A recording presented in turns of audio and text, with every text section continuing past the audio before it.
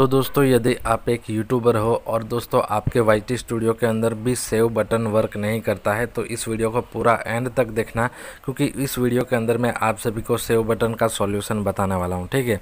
अगर आप video upload करते हो प्राइवेट के अंदर या तो फिर अनलिस्टेड करके अपलोड करते हो, उसके बाद थमनेल चेंज करते हो डिस्क्रिप्शन डालते हो टैग डालते हो, और फिर आप यहाँ पर जैसे सेव करने के लिए जाते हो वीडियो पब्लिक करने के लिए जाते हो तो आपका जो सेव का बटन है, वो वर्क ही नहीं करता है, ठीक है? तो अब इसका सॉल्यूशन क्या है? इस प्रॉब्लम को आप किस तरह से फिक्स करते हो? उसकी पूरी जानकारी मैं आप सबको इस वीडियो के अंदर बताने वाला हूँ।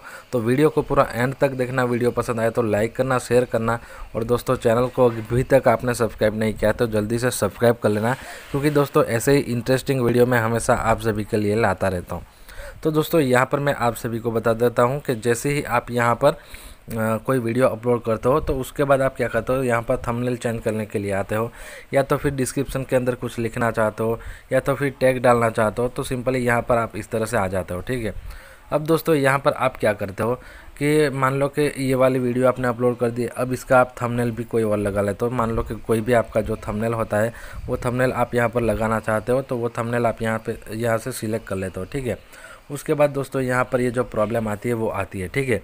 यहाँ पर सेव का बटन ही नहीं आता है, लेकिन मेरा यहाँ पर आ रहा है, आप यहाँ पर देख सकते हो, ठीक है? उसके बाद यहाँ पर आप टैग डालते हो डिस्क्रिप्शन डालते हो, कुछ भी डालते हो तो सब कुछ यहाँ पर मतलब आपका ये जो सेव का बटन है, वो वर्क ही नहीं करता है, लेकिन यहाँ पर मेरा कैसे वर्क करता है, वो मैं आप सबको दिखा देता हूँ कि दोस्तों, यहाँ पर कोई भी आप वीडियो अपलोड करते हो तो वो वीडियो अपलोड होने के बाद आपको क्या करना है 10 या 15 मिनट के लिए वेट कर लेना है, ठीक है?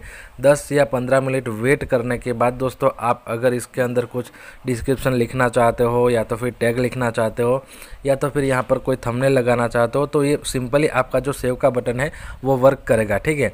लेकिन आपको दस या पंद्रह मिनट वेट करना है, उसके बाद ही आपका ए स्टूडियो के अंदर जाना है। मान लो कि अभी आपने थमने लगा दिया तो एक बार ही ये सेव का बटन वर्क करेगा, ठीक है? क्योंकि अभी यूट्यूब पे ये बग चल रही है, ठीक है? मान लो कि थंबनेल लगा दिया तो थंबनेल लगाने के बाद आपको डायरेक्ट सेव के बटन पे क्लिक नहीं करना है। पूरा का पूरा डिस्क्रिप्शन भी लिख देना है टैग भी लिख देना है, क्योंकि ये 10 या 15 मिनट में एक ही बार वर्क करेगा, ठीक है? तो यहाँ पर जैसे मैंने थंबनेल लगा दिया, अब दोस्तों यहाँ पर सेव का बटन मेरा वर्क कर रहा है सिंपली आप यहाँ पर देख चुके हो, ठीक है?